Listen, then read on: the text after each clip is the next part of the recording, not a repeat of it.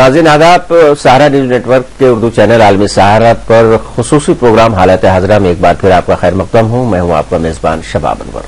नाजिन, हमने कल भी आपको याद होगा कि कश्मीर पर बात की थी और आज भी हमने कश्मीर को ही मौजू बनाया है। और आज कश्मीर को मौजू बनाने का मकसद ये था कि आज से कश्मीर में बहुत कुछ बदल गया है। अब कश्मीर में एक विधान और एक निशान एक तरह से शुरू हो गया है। बहुत कुछ तब्दीली आई है क्योंकि आर्टिकल 370 हटने के बाद जो नए जब्ते बने थे, वो पूरी तरह से इकतीस अक्टूबर से नाफिज होने थे और वो नाफिज हो गई हैं। अब कश्मीर से लद्दाख अलग हो गया है, वहाँ एक नई सरकार बनेगी जो कि मरकज के ज़रिए इंतज़ाम होगी और जम्मू कश्मीर भी अब मरकज के ज़रिए इंतज़ाम होगी। तो एक खास बात ये, यहाँ पर यह है कि अब तक जो आज़ाद रियासत थी वो अब मरकज के जेर इंतज़ाम हो गई है और ये सवाल लगातार उठता रहेगा तब तक, क्योंकि अमित शाह जी ने ये वादा किया था कि वो जल्द ही रेगुलर करेंगे फिर से जिस तरह का स्टेट था, लेकिन अभी जैसे हालात बेहतर होंगे तब किया जाएगा। दूसरी बात यह है कि दोनों ही जगह पे गवर्नर ने अपना अहदा भी संभाल लिया है, क्योंकि हलबरदारी भी हो गई है दोनों जगह, और असेंबली की जो मुद्दतकार हुई है, होगी उसमें एक साल की कमी की गई है। पहले जम्मू कश्मीर की असेंबली जो होती थी, वो छह साल की होती थी, अब पाँच साल की कर दी गई है। और इसके अलावा जो खास बात ये वहाँ पर हुई है कि अब वहाँ पे लाल निशान नज़र नहीं आएगा, और एक विधान और एक निशान का जो कानून है, जम्मू कश्मीर में आज से नाफिज हो गया है। बहुत सारी इंतजामी चीज़ें हैं और बहुत सारी सियासी चीज़ें हैं जो आज से बदल गई हैं। कल तक जम्मू कश्मीर जो था, वो आज़ाद रियासत था, लेकिन आज से मरकज के ज़रिए इंतज़ाम है। और अगर लद्दाख की बात करें तो लद्दाख भी अब जम्मू कश्मीर से अलग रियासत हो गया है। दोनों का हाईकोर्ट लेकिन एक होगा, लेकिन एडवोकेट जनरल दोनों के एक ही होंगे, ये खास बात है। अब सबसे बड़ी बात यह है कि इस नई तब्दीली के बाद क्या कुछ होता है? हमने, जैसा कि आपको बताया और आपको याद भी होगा कि कल भी हमने कश्मीर के इशू पर ही बात की थी। आज फिर हमने उसको मौजूद बहस बनाया है। दो खास मेहमान, इनमें से एक आपके साथ कल भी थे। कश्मीर मामलों के जानकार जनाब रविंद्र पंडिता जी हमारे साथ मौजूद हैं। हम उनका खैर मकदम करते हैं। और जनाब एच के सिंह साहब आज हमारे साथ इस खास गुफ्तगु में शामिल हुए हैं। हम उनका भी खैर मकदम करते हैं आलमी सहारा के स्टूडियो में। तो आइए नाजरीन, शुरू करते हैं। अपना खसूसी प्रोग्राम हालत हादरा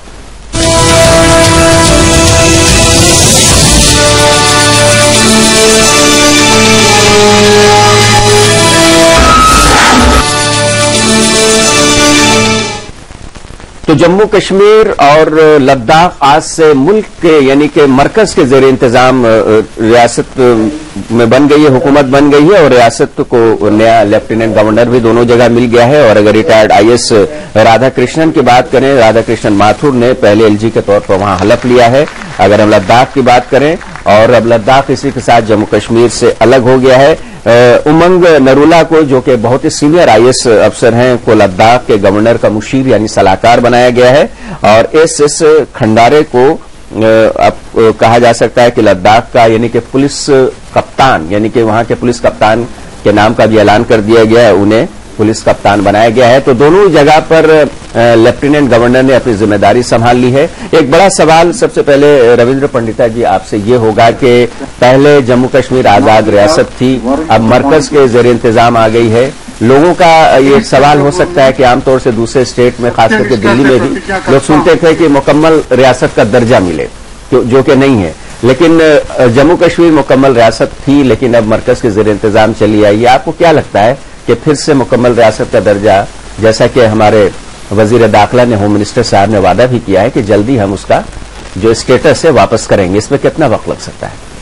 जो आप जवाब साहब इस्तेमाल कर रहे हैं पहले एक अल्फाज जो है आपका लफ्ज जो आज़ाद। जी जी। आज़ाद की तरह नहीं हमारी एक रियासत थी पहले भी। अब ये पूरा स्टेट था स्टेट हुड था। लद्दाख जम्मू और कश्मीर ये तीन डिवीज़न है। हम्म। अब कश्मीर घाटी की हम बात करें यानी वादी में दस जिला है। जी जी। और हमारी टोटल निश्चितः सतासी थी। अब इन्होंने क्या करा कि भारतीय सरकार ने इनको जो है दो डिवीज़न में दो में तकसीम कर दिया। एक फुल प्लेज यूनियन टेरिटरी यानी लद्दाख हो गई और जहाँ लेफ्टिनेंट गवर्नर अलग होएगा और जम्मू और कश्मीर डिवीज़न दो को एक यूनियन टेरिटरी बनाई है विद लेजिस्लेशन यानी कि स्टेट होने के इम्कान बराबर हैं। वो डिपेंड करेगा कि सरकार कब फैसला करे कि वहाँ पे ऐसी नॉर्मल चीज़ों के इलेक्शंस कराए जाएँ और इंतखाबात के बाद दोबारा फिर सरकार वहाँ चुनी हुई आए। वो अभी खैर बहुत दूर की बात दिख रही है जैसा कि मैंने आपको बताया कि मैं परसों आया हूँ कश्मीर से दिवाली मनाने गया था। बताया था जी जी। मैं वहाँ पे देख ही आया जमीनी हालात क्योंकि दो तीन जिला में मैं भी घूम ही आया काफ़ी इंटीरियर तक मैं कोई ऐसे टूरिस्ट नहीं हूँ वहाँ। मैं काम करता हूँ कश्मीर में मंदिरों का निर्माण और ये सब। जी, जी। और मैं देख रहा हूँ कि कश्मीरियत किस तरह से फिर हम दोबारा ले आए वापस की कश्मीर में जो कंपोजिट कल्चर था जैसे वहाँ पे हम जैसे लोगों को भी भागना पड़ा भगाया गया एक खास एक प्लान के तहत। तो उस चीज़ को कैसे नॉर्मलाइज करा जाए? अब आज जो ये ऐतिहासिक फैसला है गवर्नमेंट ऑफ़ इंडिया ने मैं मानता हूँ चलो एक तजुर्बा ही हम माने। अब सत्तर साल में हमने भी नहीं देखा है जी हमारी उम्र उतनी नहीं पहली बार देख रहे कि, कि एक ऐसा फैसला एक ऐसा कदम कोई सरकार उठा रही है। इसके क्या नतज होंगे ज़मीन पे अभी एकदम से मुझे कोई नतज नहीं नज़र आ रहे क्योंकि ब्यूरोक्रेसी जो है जी, जी। 370 के तहत जो हमारा चीफ सेक्रेटरी था वही चीफ सेक्रेटरी अभी भी रहेगा सुब्रमण्यम जी। हमारे जितने भी कमिश्नर्स थे आईएएस ऑफिसर थे उनमें नौ तो बाहर के कैडर के थे पहले ही वो तो कोई जे एंड के, के तो नहीं थे। आईपीएस ऑफिसर भी पाँच छह जो है बाहर के कैडर के थे। तो इंतजामिया जो बेसिक है लेवल पे। उन्होंने काम करना है। और उनको ऊपर से कैसी हिदायत मिल रही है ठीक है हेड पे भी डिपेंड करता है। जैसे हमने पहले भी देखा है उन्नीस सौ चौरासी पचासी के दौरान जब गवर्नर जगमोहन वहाँ आए थे बड़ा अच्छा डेवलपमेंट वर्क हुआ था। लोग आमतौर पे बड़े खुश थे उनके साथ पर जब वो फिर दोबारा 1990 में तैनात किए गए तब सूरत हाल कुछ मुख्तलिफ़ था और उस टाइम लो, लोग नाखुश हुए। पर हेड जो है मुमरो जी वहाँ गए एक्सपेंडिचर के बड़े एक्सपर्ट हैं। हमारे यहाँ क्या होता है हमारी रियासत में जितना भी प्लान आउटले जितने भी फंड्स हमारे यहाँ आते हैं वो अनस्पेंट यानी खर्चा नहीं हो, होता है। जिस जिस ढंग से होना चाहिए। उसमें लैप्स हो जाते हैं कुछ फंड्स तो डेवलपमेंट हो नहीं रहा है। अब कुछ इस सरकार ने कदम उठाए हैं जैसे पंचायती राज होने ये स्ट्रेस कर रहे तो हैं। और स्टेट से भी आती रहती है चाहे पार्टी किसी की भी हो। ये एक ऐसा मसला है और इसमें आपने सही कहा कि ब्यूरोक्रेसी जो है किसी भी सरकार को चलाने में बहुत बड़ा रोल अदा करती है। एच के सिंह साहब आज हमारे स्टूडियो में आए हैं। हमने कोशिश की थी पहले भी। एच के सिंह साहब कश्मीर में जो आज से एक नया कानून नाफिज हुआ है 370 का पूरी तरह से। उसके बाद से जैसा कि पंडिता साहब ने बताया कि पूरी तरह से हालात नॉर्मल नहीं है, हालाँकि वो कोई सियासी आदमी नहीं है, वो वहाँ के जानकार हैं लगातार, परसों भी वहाँ से होकर के आए हैं। आपको क्या लगता है कि एक वादा जो होम मिनिस्टर साहब का है कि हम वापस फुल स्टेट का दर्जा दे देंगे। अभी फ़िलहाल इसे सेंट्रल गवर्नमेंट के मातहत लिया जा रहा है। आपको क्या लगता है कि इसमें कितना वक्त मिल जाता है? लग सकता है क्योंकि लोगों के दिल में एक वहाँ के लोगों में खलिश है कि हम तो मुकम्मल रियासत थे लेकिन अब मरकज के यानी कि सेंट्रल के अंदर चले गए। हैं तो फुल स्टेटस जम्मू कश्मीर को फिर कब से मिलने की उम्मीद है? ये कहना अभी मुश्किल होगा। जी जी। आ, मैं ये बताऊँ कि पहले आज़ाद रियासत तो कश्मीर नहीं रहा। जी। नहीं था। नहीं लेकिन आप देखें कि स्वायत्त रियासत ज़रूर कहेंगे। 370 के कारण 35 ए के कारण कई चीज़ों में उनके अपने ही विधान लागू होते थे और कई चीज़ों में आप देखें कई चीज़ें जो भारतीय संविधान की थी वहाँ लागू नहीं होता था। 370 और 35 ए हटने के बाद अब देखे जो श्यामा प्रसाद मुखर्जी जी ने कहा था एक विधान एक निशान एक देश एक प्रधान। तो और और एक एक एक प्रधान। प्रधान तो ये चीज़ तो अब लागू हो गया लेकिन सबसे बड़ी बात है कि केंद्र सरकार को भी लोगों के दिल में जगह बनाने की ज़रूरत है। जो कहीं न कहीं जो वाजपेयी जी पहले भी कहा करते थे कि इंसानियत जमहूरियत और कश्मीरियत के दायरे में रहकर यहाँ हम लोगों को आवाम को आगे बढ़ा पाएँगे और उनके हक मतलब हक और हुकूक के लिए लड़ेंगे और आगे उनके विकास का रास्ता प्रशस्त करेंगे तो इस दिशा में कार्य करना होगा। कहीं न कहीं इस दिशा में कार्य करने में ऐसा महसूस किया गया कि लंबे समय से बाधा उत्पन्न हो रही थी।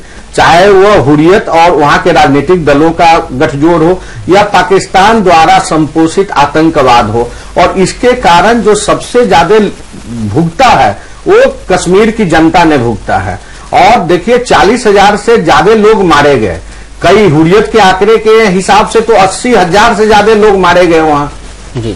अब देखें तो ऐसी स्थिति में यह केंद्र सरकार का भी और प्रशासन का भी दायित्व तो बनता है कि जल्द से जल्द जम्मू कश्मीर में नॉर्मलसी लाया जाए और वहाँ के जनता को जो उसका ड्यू इतनों दिनों से नहीं मिल रहा था चाहे शिक्षा के क्षेत्र में हो रोज़गार के क्षेत्र में हो चाहे वह टूरिज़्म के क्षेत्र में हो विकास के क्षेत्र में हो जो कुछ लोग वहाँ के संसाधा- संसाधनों पर कुंडली मारकर बैठे हुए थे तो वहाँ पर अब जनता के बीच में जाकर और जनता के द्वारा ग्रास रूट लेवल पर चाहे पंचायतों के माध्यम से हो या चुने हुए प्रतिनिधियों के माध्यम से हो एक समुचित विकास और एक सार्वदेशिक विकास आप कहें रियासत के अंतर्गत वो होना चाहिए तो चलिए अगर ऐसा जी। नहीं हुआ जी, जी। तो लोगों के दिल में जगह नहीं बन पाएगी हाँ लोगों की उम्मीद है कि फिर से एक रियासत को एक इस तरह का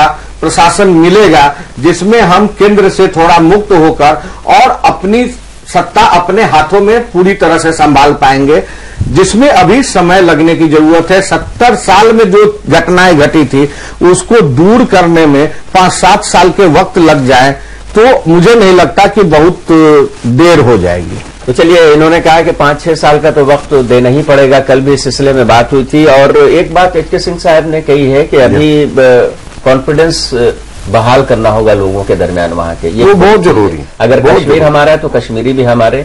इस चीज़ पर अमल करने की ज़रूरत है। आप ने एक लफ्ज का इस्तेमाल कल किया था पंडिता साहब कि वहाँ सिविल कर्फ्यू देखने को मिल रहा है। तो इसका क्या मतलब निकाला? जब लोग खुद से बाहर नहीं आ रहे हैं उन्हें किस तरह की परेशानी हो रही है? जबकि अब तो दो महीने से भी ज़्यादा देखिए जब मैं पिछले चार महीने से पहले जब मैं कश्मीर गया था मैं भी किसी शंकराचार्य जयंती के सिलसिले में गया था आठ दस दिन रुका था। मैं आपको बता चुका हूँ मैं वहाँ मंदिरों का निर्माण का काम जो है तामीरात तामीरात नौ जिसको कहते हैं ना रेनोवेट कर रहा हूँ। बिल्कुल सही। तो उस चीज़ को लेके चल रहा हूँ पीछे जो हालात थे और अब जो हालात देखे पहले तो झूठ ये फैलाया गया नैरेटिव कि वहाँ पे हिंदुस्तान ने जो है ना कर्फ्यू लगा दिया। कर्फ्यू तो कभी नहीं लगा। दफ़ा 144 लगी है और कर्फ्यू नहीं लगा है। पर अब जो मैंने स्थिति देखी अब जो मैंने वहाँ पे मौके पे देखा कि कर्फ्यू जैसी ही सिचुएशन है। आर्मी या पैरामिलिट्री फोर्सेस मुझे कोई ज़्यादा नहीं नज़र आएगी जहाँ जहाँ पे नाके थे यानी कि श्रीनगर से बडगाम जाने पे जो 40 किलोमीटर का मैंने सफ़र तय किया सभी गाँवों के बीच में, जितने नाके पहले थे, चार पाँच, उतने ही दिखे और उतने ही ऑर्डिनरली दिखे। कोई बहुत ज़्यादा फौज मैंने नहीं देखी पड़ी है सड़क पर लोगों में एक इनडिस्यूनियस यानी वो कुछ तय नहीं कर पा रहे हैं कि क्या करा जाए। वो एक तरह से जिस कहते हैं, एक शौक जैसा है कि हमें क्या आगे करना है। उनमें एक रोष है, वो कुछ नाराज़ जैसे दिख रहे पर ये भी नहीं है कि कारोबार नहीं चल रहा है और ऐसे है चल रही नाराज़गी सबसे नहीं शपथ अब जम्मू कश्मीर की असेंबली में वो तो उन्हें मालूम था नहीं उसमें मैं माफ़ी चाहूँगा। देखिए जब से बीजेपी सरकार आई एक बड़ा क्लियर मैनिफेस्टो है एक क्लियर फंडा है। जी। मुझे ये बताइए आप जब उन्नीस सौ चौवन में आपने हमारे हिस्से को पीओके को वहाँ पे आर्टिकल सेवेंटी फोर पाकिस्तान ने लगाया उन पे और उन पे कब्जा करके बैठे हैं वहाँ हुकूमत चला रहे अलग से हुकूमत है एजे के हुकूमत जिसको कहते हैं। तो तब तो पूरे वर्ल्ड को या तब तो किसी को कोई एतराज़ नहीं हुआ। हमने आज बहत्तर साल के एक्सपेरिमेंट के बाद ये कदम उठाया और हमने तीन सौ सत्तर हटा दिया। क्योंकि ये घिस ही गया था। मैं तो ये मानता हूँ एज कश्मीर कश्मीरी वहाँ का बाशिंदा होने के नाते ये घिस ही गया था। पर एक माइंडसेट जो बना था उसको चेंज करने में बहुत टाइम लगता है। जी। अब हमें क्या ज़रूरत है उस पर हम मेन बात करें। चलिए हम ब्रेक के बाद इस बात पर इस इशू पर हाँ। करना क्या चाहिए, पंडिता साहब और एच के सिंह साहब दोनों मौजूद रहेंगे। बड़ी मुस्बत बातें हो रही हैं और बहुत ही बैलेंस अगर कहा जाए कि तवाजुन के साथ यहाँ पर बातचीत की जा रही है। और इस बात का भी ख्याल रखा जा रहा है इस गुफ्तगु में कि कश्मीर के जो लोग इस प्रोग्राम को देख रहे हैं उनको भी नाराज़गी ना हो वो भी नाराज़ ना हो और सरकार की जो मंशा है उस पर भी किसी तरह का कोई शक शुबा नहीं किया जाना चाहिए। कल भी हमारे पैनल में जो लोग थे उन्होंने कहा कि इतनी जल्दी नॉर्मलिसी की उम्मीद करना बेईमानी होगी। अभी कुछ वक्त देना होगा क्योंकि एक बहुत ही तारीखी फैसला सरकार की तरफ़ से लिया गया है, मरकज की तरफ़ से, और इस फैसले के बाद जो बाद के हालात होते हैं, उसका मुकाबला करने के लिए कुछ वक्त हुकूमत को देना पड़ेगा। एक ब्रेक लेते हैं। ब्रेक के बाद इसी मौजू पर दोनों मेहमानों से फिर बात करेंगे।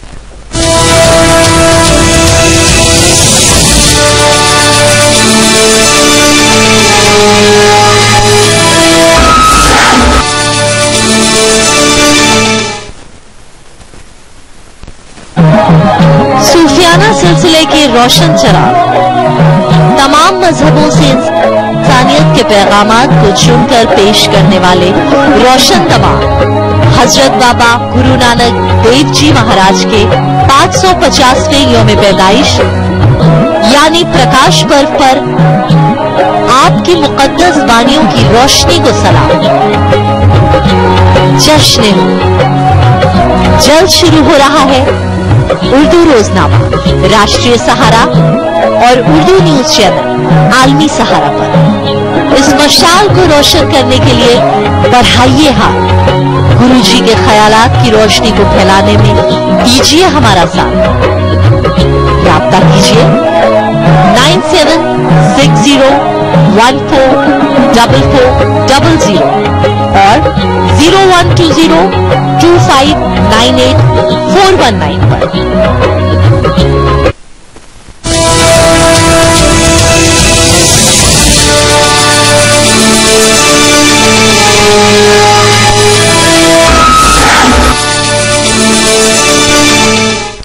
वक्त के बाद एक बार फिर आपका खैर मकदम है। आप देख रहे हैं हमारा खास प्रोग्राम, हालात हाजरा। हम बात करें कश्मीर की, जहाँ के आज से नए कानून नाफिज हो गए हैं। 370 हटने के बाद और लद्दाख और जम्मू कश्मीर दोनों ही जगह नए लेफ्टिनेंट गवर्नर ने उहदे और राजदारी का हलफ भी ले लिया है और कुछ एडमिनिस्ट्रेटिव लेवल पर भी कुछ नामों का ऐलान हुआ है। खासतौर से अगर लद्दाख की बात कही जाए तो वहाँ के पुलिस कप्तान के नाम का भी ऐलान किया गया है और कुछ मुशीरकार, यानी कि जो सलाहकार होते हैं, उन्हें भी रखा गया और कोशिश इस बात की जा रही है कि जो नई सूरत हाल पैदा हुई है, उसको बेहतर तरीके से वहाँ पर चलाया जाए ताकि किसी भी तरह की परेशानी आवाम को ना हो जाए। एच के सिंह साहब, जब ब्रेक से पहले जब हमने इनसे सवाल किया था इस सिलसिले में, एक नई तब्दीली के सिलसिले में तो उन्होंने कहा था कि सबसे पहला काम यह होना चाहिए मरकज को, क्योंकि मरकज अब सेंट्रल गवर्नमेंट जो है, वो अब इन दोनों जगह की एक तरह से गार्जियन है। तो वहाँ के लोगों को किस तरह से कॉन्फिडेंस में लिया जाए? और जो एक सिविल कर्फ्यू की बात रविन्द्र पंडिता साहब ने की थी वो क्यों है? इस पर कैसे रोक लगाई जाए? इन लोगों को का कॉन्फिडेंस किस तरह से सिंह साहब बहाल किया जा सकता है? और क्या तदबीरें करनी पड़ेंगी? क्या उपाय करना पड़ेगा इसके लिए? कई चीज़ें इसमें करनी पड़ेगी। जी जी। सबसे बड़ी बात है क्योंकि अब दायित्व तो सीधा केंद्र सरकार का वहाँ पर आ गया है।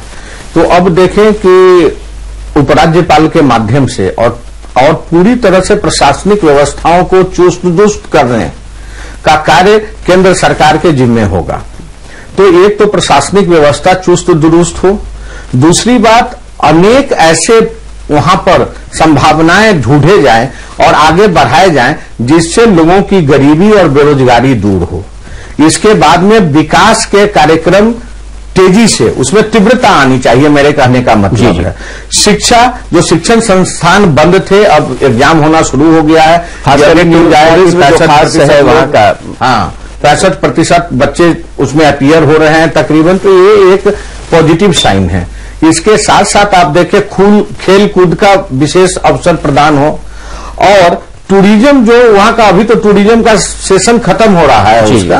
तो लेकिन इसके बाद जब कभी भी मार्च अप्रैल में जब शुरू होता है तो उसके बाद उस पर का भी व्यापक प्रबंध किया जाना चाहिए व्यवस्था की जानी चाहिए और लोगों के दिलों को जीतना है। इसके लिए कॉन्फिडेंस बिल्डिंग मेजर्स वो हमें बिल्कुल कश्मीर में करना पड़ेगा। देखिए लद्दाख की जनता तो बहुत उसकी वहाँ की जनता बहुत खुश है। और वहाँ पर कोई विरोध नहीं है। जम्मू में कोई इसका विरोध नहीं है।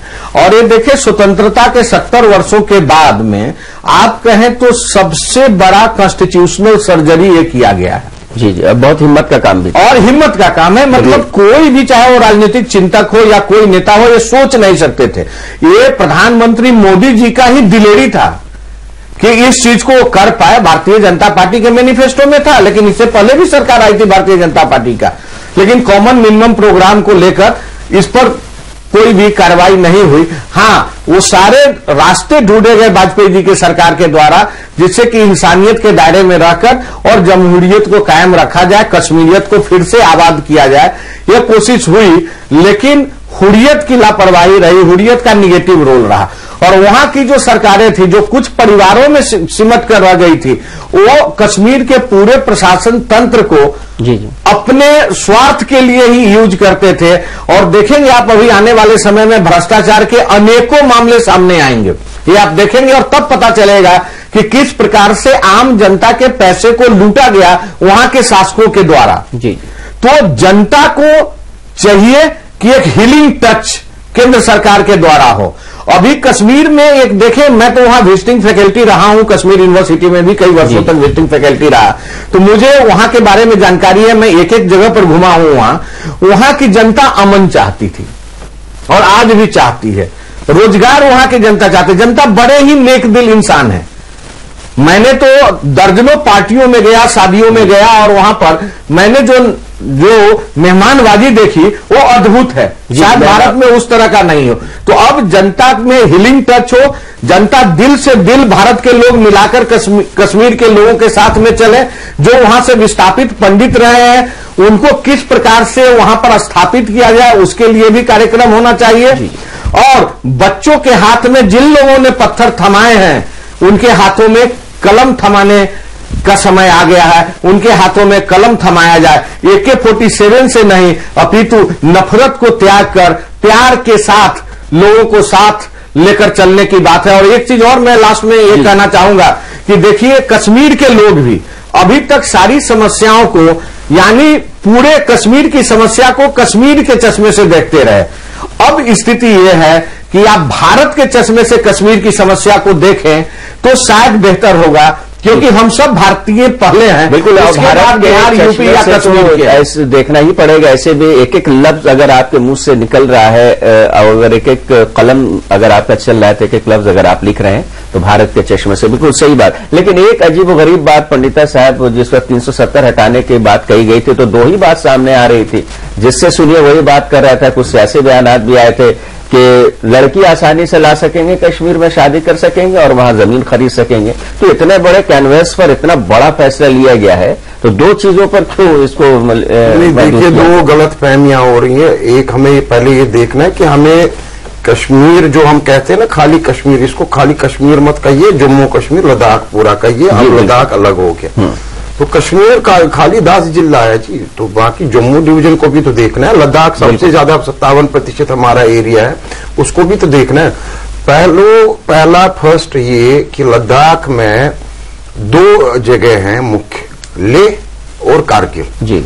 कारगिल में रोष है लोगों में। अच्छा। कारगिल में लोग खुश नहीं है। अच्छा। पर आहिस्ता आहिस्ता डेवलपमेंट वर्क देखने से और एकदम पूरे विलय होने से बहुत जल्दी वहाँ पे जो है ना विकास के कार्य शुरू हो रहे हैं आज भी चल रहे हैं और वो विलय हो जाएगा। अब रही घाटी की बात। घाटी में ये था कि एक हवा उड़ी थी कि मुस्लिम मेजोरिटी स्टेट है। और पंडितों को वहाँ पे हिंदुओं ये को सुनने में आ रहा है कि प्लान के। अब उर्दू नहीं रहेगी। क्या ये सही है? नहीं उससे खैर कोई फ़र्क नहीं पड़ता। देखिए लैंग्वेजेस तो वहाँ सत्रह चल रही है हमारी स्टेट में। डोगरी पंजाबी भी चल रही है लद्दाखी भी चल रही है कश्मीरी तो दो स्क्रिप्ट में चल रही है जैसे आपको पता ही है। मैं भी एक न्यूज़ रीडर रहा हूँ वहाँ पे काम किया हूँ। हम देवनागरी में भी कश्मीरी लिखते हैं और उर्दू में भी लिखते हैं। तो लैंग्वेजेस की वो नहीं है इतनी खास बात। हाँ जो कानून थे कानून तो मुख्तलिफ़ थे। कई चीज़ों पे तो ये एक्ट ही नहीं लग रहे थे। करप्शन पे खास तौर पे। इंडिया का कानून भारतीय कानून वहाँ पे लागू नहीं था रणबीर पैनल कोड चल रहा था। वो सब तो एक पहलू रहा। जब तक मेरा लास्ट फिर यही कहना है दस या पंद्रह प्रतिशत लोग जिन्होंने उग्रवाद फैलाया है अलगाववाद फैलाया है उनसे सख्ती से निपटा जाए। बिल्कुल। जो बाकी 80 परसेंट लोग है जी सारे कश्मीरी जो है इंतहा पसंद नहीं है। बड़े अमन पसंद लोग हैं। उनका दिल कैसे जीतना है? खसूसन पैंसठ प्रतिशत जो हमारे वहाँ युवा है। उनको हमें कैसे रोज़गार देना है? भारत के साथ कैसे इंटीग्रेट करना है? यूथ एक्सचेंज प्रोग्राम्स हैं कल्चरल प्रोग्राम्स हैं। अभी हम कहते हैं सयाहत खत्म हुई नहीं विंटर स्पोर्ट्स और विंटर टूरिज़्म बहुत बड़ा है कश्मीर में जो। है एक पहलू जो लद्दाख में इस टाइम खत्म हो गया लद्दाख रीजन में कश्मीर में चलेगा। तो इस चीज़ की तरफ़ ज़्यादा तवज्जो देना है हमें लैंडस्केप नहीं चाहिए हमें खाली कश्मीर जगह नहीं चाहिए लैंड हमें वहाँ का माइंडस्केप भी चेंज करना है। तो लैंडस्केप के साथ साथ माइंडस्केप बहुत बड़ी बात। दोनों चीज़ें चेंज करनी है लोगों को अपनी तरफ़ ले ले आना है। ये बहुत बड़ी बड़ा एक कदम होगा। इतना आसान नहीं है खैर। तो मैं कहता हूँ इतना आसान नहीं है। पर एक में वक्त हाँ, तब्दीली लेकिन। एच के सिंह साहब भले ही कुछ और तब्दीली आने में थोड़ा टाइम लगेगा लेकिन एक तब्दीली तो आज से आ गई होगी कि अब कोई कश्मीर जाएगा। तो ये सुनने को नहीं मिलेगा कि आप इंडिया से आए हैं, पहले सुनने को मिलता था। बिल्कुल। तो ये बड़ा बुरा ये तो मैंने भी अनुभव किया था वहाँ जी, जी। कि इंडिया से एक प्रोफेसर आया है जब मैं वहाँ पढ़ाने आमतौर से यही इस्तेमाल होता तो इस तरह का ये तो इसमें तब्दीली आ जाएगी। सबसे बड़ी बात है कि वहाँ की शिक्षा प्रणाली भी रही है हम्म। उसमें भी कुछ इस तरह का रेडिकलाइजेशन तत्व तो जुड़ा हुआ जी है। हाँ बिल्कुल है तो ये मैंने वहाँ महसूस किया। स्कूली शिक्षा हाँ, को गया।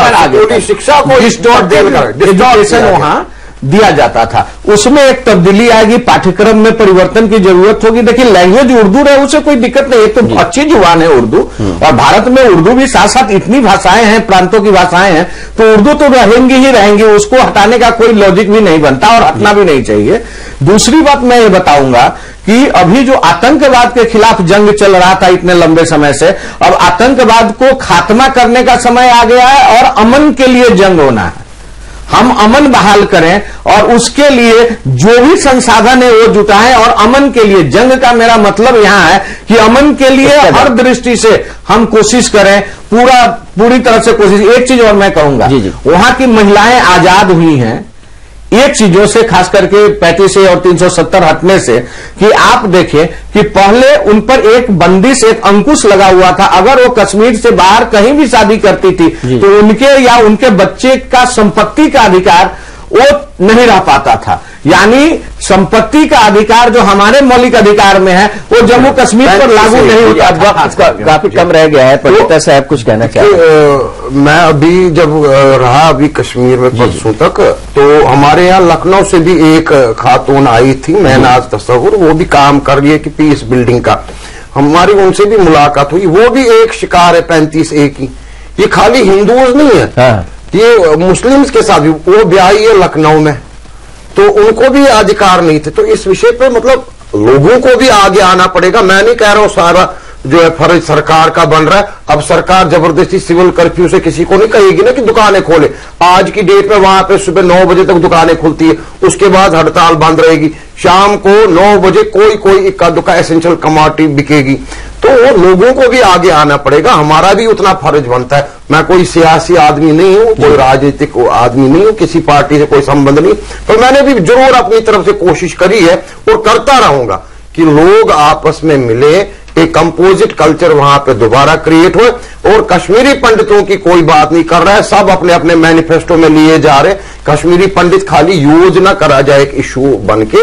कश्मीरी पंडितों के लिए वाकई कोई काम करा जाए ताकि वहाँ पे जो पहले कंपोजिट कल्चर था जो सरजमीन हमारी उतनी है कश्मीरी पंडित की जितनी कश्मीरी मुसलमान की है जी, जी। तो वो कंपोजिट कल्चर हमको दोबारा क्रिएट हमारे पास वक्त नहीं है और आप बातचीत कर सकते थे हम माजरत करेंगे एच के सिंह साहब लेकिन आपके ही पैगाम के साथ इस प्रोग्राम को खत्म करना चाहेंगे। एच के सिंह साहब ने एक पैगाम दिया है कि खून खराबा तो बहुत हुआ अब अमन की जंग होनी चाहिए वहाँ पर। तो अमन की जंग के इस पैगाम के साथ आलमी सहारा के इस प्रोग्राम हालात हाजरा को यहीं पर खत्म करते हैं। आपकी इजाज़त से और इससे पहले हम दोनों मेहमानों का शुक्रिया अदा करेंगे। जनाब एच के सिंह साहब और जनाब रविंद्र पंडिता साहब स्टूडियो में आने के लिए और इस प्रोग्राम में शामिल होने के लिए। तो नाजीन आज के हालत हाजरा में बस इतना ही।